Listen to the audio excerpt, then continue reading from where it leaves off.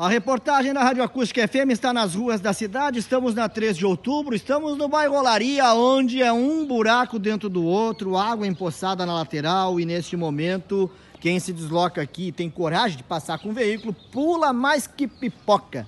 Pois é, não deveríamos estar brincando porque a coisa aqui é séria, mas vejam as imagens. Você que está assistindo o vídeo está vendo, mas você que está nos ouvindo não consegue perceber, então eu vou descrever para vocês. Um buraco dentro do outro. Teve morador que brincou comigo que a rua 3 de outubro tem mais buracos do que o número de habitantes em Camacuã.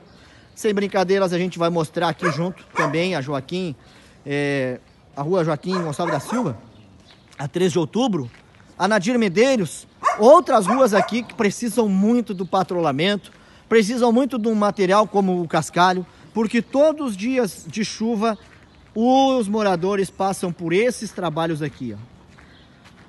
por essas dificuldades e por tudo o que tem pela frente, que é aqui neste momento, ó, mesmo a sombra da árvore mostrando para vocês mais uma vez um buraco dentro do outro, dificuldade do pessoal aqui circular, até mesmo de moto.